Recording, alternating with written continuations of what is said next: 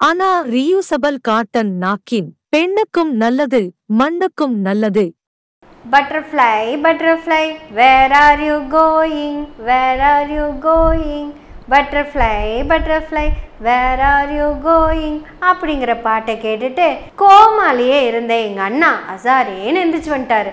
அப்படி எந்திரிச்சு வந்தவர் இது என்ன கொலை கொலையா முந்திரிக்கா பாட்டா? அப்படின்னு கேட்டாரு.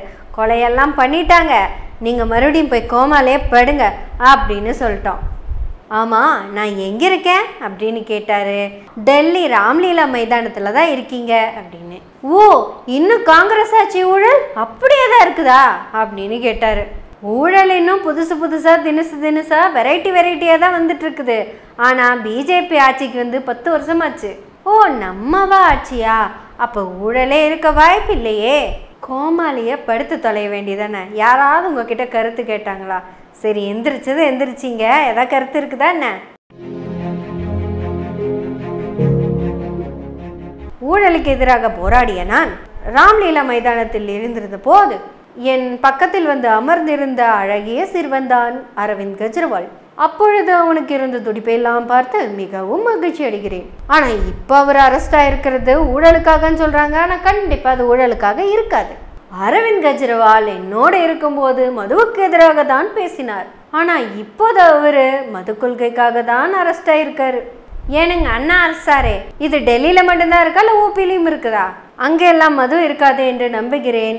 இந்தியாவில் டெல்லி கேரளா தமிழ்நாடு ஆந்திரா கர்நாடகாவை தவிர வேறு எங்கும் மது இருக்காது என்று நம்புகிறேன். அப்பேற்பட்ட புண்ணிய பூமியில் மதுவை திணித்ததால் அரெஸ்ட் அவரே தான் காரணம்?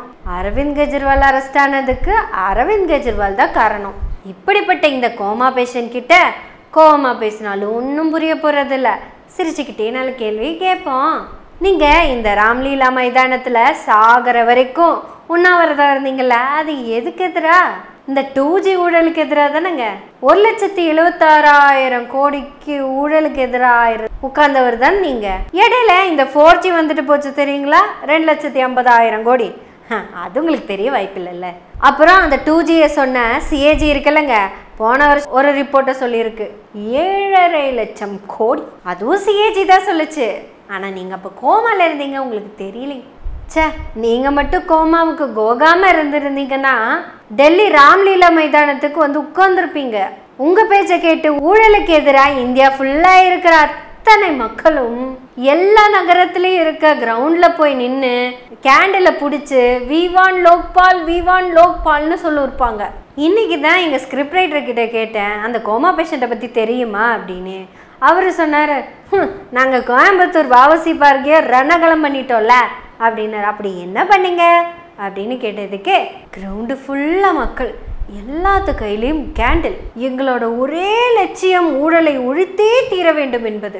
அன்னைக்கு இதே மாதிரி தான் ஐபிஎல் நடந்துட்டு இருந்தது அப் ஞான பிரெயின்ல இருந்து ஒரு சிந்தனை உதிச்சு நாங்கள் ஃப்ளெக்ஸ் எல்லாம் எடுத்துட்டு போனோம். We want LPL no IPL அப்படின்னு. ஆனால் என்ன பண்ணுறது இப்போவும் ஐபிஎல் நடந்துக்கிட்டே தான் இருக்கு. லோக்பால் தான் இல்லை அப்படின்னு சொன்னதுக்கு ஆனால் இப்போ எந்திரிச்சிட்டார்ல எங்கள் லோக்பால் அப்படின்னு சந்தோஷப்பட்டுக்கிட்டாங்க. இதில் எங்கள் பேஷண்ட் ரெடியாக வந்துட்டாரு. நாங்கள் ஊழலுக்கு எதிராக போய் அண்ணா சாரே கிட்ட நிற்போம் அப்படின்னுலாம் பேசுகிறாரு இதெல்லாம் ஒரு பீஸுன்னு இந்த பேரை வச்சுட்டு இந்தியாவே ஒரு பத்து வருஷத்துக்கு முன்னாடி எப்படி ரணகலப்பட்டுச்சு அப்படின்னு கேட்டேன்.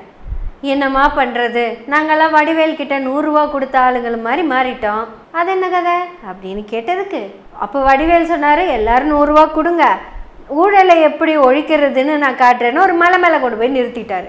அப்படியே அங்கேருந்து மலை மேலே இருந்து வானத்தை பார்த்து அங்கே வர ஊழல் ஒழிஞ்சு போச்சு ஊழல் ஒழிஞ்சு போச்சுன்னு கத்தினார். அப்போ அந்த கும்பலில் நின்று எங்கள் ஸ்கிரிப்ட் ரைட்டர் தான் கேட்டார் எங்கப்பா ஊழல் ஒழிஞ்சதுன்னு?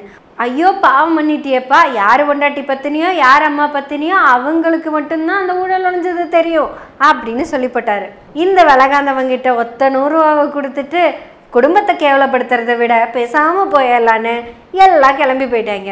அப்ப அந்த ராம்லீலா மைதானத்துல இருந்து ஊழலை ஒழிச்சிட்டோன்னு வீட்டுக்கு போய் படுத்த மாமா தான் கோமாக்கு போயிட்டாரு. பத்து வருஷம் கழிச்சு பாடி மெதுவாக எந்திரிச்சிருக்குது. நல்ல வேலை அழுகி போல. அழுகி போயிருந்தா தான் யாருக்கு என்ன பிரச்சனை? எங்க அண்ணா சாரே நீங்க சொன்ன மாதிரி ஊழலெல்லாம் ஒழிஞ்சு போச்சு. இந்தியாவில் அப்படின்னா என்னன்னே யாருக்கும் தெரியாத அளவுக்கு ஆயிடுச்சுங்களா? சரி இப்போ எலெக்ஷன் எல்லாம் வருது. இந்த எலெக்ஷனில் யாருக்கு ஓட்டு போடணும் மக்கள் அப்படின்னு சொல்லிட்டு போய் மறுபடியும் கோமால படுத்துக்கிட்டிங்கன்னா அதுக்கு தகுந்த மாதிரி இங்கே ஏதாவது நடந்து நல்லது நடக்குமான்னு பார்க்கலாம். இப்போ கூட பாருங்க அரவிந்த் கெஜ்ரிவால் ஊழல் தான் பண்ணியிருக்காரம்மா.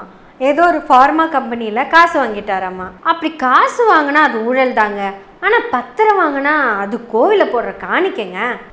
சுப்ரீம் கோர்ட் அது ரொம்ப தப்பு அப்படின்னு சொல்லி ரத்து பண்ணிருச்சுங்க. அப்போ இது சட்டத்துக்கு புறம்பாக தான் ஒரு விஷயம் நடந்திருக்கு. போன வாரம் வரைக்கும் கெஜ்ரிவால் பண்ணது ஊழலுங்க அந்த பத்திரம் வாங்கினது காணிக்க. இ- ஆனா இப்போ உச்சநீதிமன்றம் சொன்னதை வச்சு ரெண்டுமே ஊழலா மாறிடுச்சு. ஊழலை ஒழிச்சே தீருவோன்னு ஒரு பாடியும் வேற வெளியே வந்துருச்சு. இப்போ இந்த கோமா பாடியும் இந்தியாவை காக்கணும் அப்படின்னு சொல்ற மிச்ச பிற பாடிகளும் சேர்ந்து எந்த ஊழலை நிரந்தரமாக ஒழிக்க போகுதுன்னு தான் நம்ம பார்க்கணும். இருக்கிற ஒரு மாதத்தில் இந்தியாவை எப்படி காப்பாற்றணும் அப்படிங்கிறத பற்றி தான் நம்ம யோசிக்கணும். பெருசாலாம் ஒன்றும் யோசிச்சு கன்ஃபியூஸ் ஆகிக்க வேணாம். போய் இந்திய கூட்டணிக்கு வாக்களிச்சிருங்க அவ்வளோதான் நீங்கள் மட்டும் இல்லை போகிறப்போ எல்லாத்துக்கிட்டேயும் இந்திய கூட்டணிக்கு ஓட்டு போடுங்கன்னு சொல்லி கூட்டிகிட்டு போயிருங்க. அவ்வளோதாங்க முடிஞ்சது. ஜூன் நாளுக்கு அப்புறம் மிச்சம் இருக்கிற வேலையெல்லாம் நிதானமாக பார்த்துடலாம். இந்தியாவை காப்பாற்றணும் நம்மளை காப்பாற்றணும் எல்லாத்தையும் காப்பாற்றணும் எல்லாம் நம்ம கையில் தான் இருக்குது எனவே டெய்லியும் இதை பற்றியே பேசுவோம். எனவே பேசுவோம் நாள்தோறும். உங்களுடைய ஆதரவுகளை நன்றிகளோடு எதிர்பார்த்து கொண்டிருக்கிறோம். நன்றி வணக்கம்.